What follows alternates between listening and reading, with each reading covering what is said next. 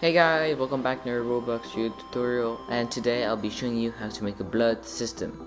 So all you have to do is take the model in description and then you're done. That's all. So now we can just like test it but we maybe have to add a kill brick so let me two seconds.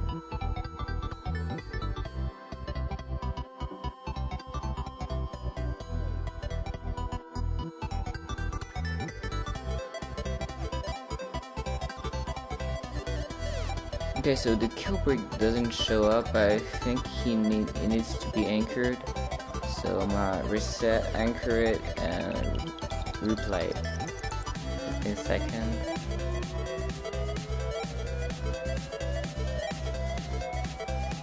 Okay. See, when I get on it, wait, wait, see, when I when I get on it, you have some blood coming out. It's actually the part that duplicates itself and change the size to make it bigger. Okay, so now I'm gonna show you how to change like the blood, um, the blood part. So imagine I wanna make a round, so I'm gonna take uh, this part. I'm gonna make it smaller, so like like it, it looks like um, a circle. But okay, so I'm gonna edit a bit of red and all. Uh, I'm gonna you know, gonna give the name Flat Temple so the scripts understand that it's that's this part that he needs to multiplicate.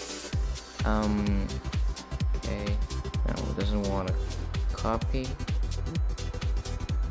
Okay we're gonna go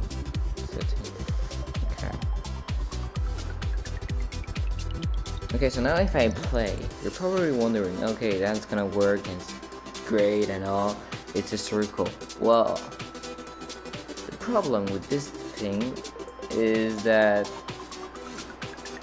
it won't do circles, but like the same, like it, it isn't circles like that. So I don't recommend you taking those kind of thing because Roblox doesn't give you uh, parts which are circles.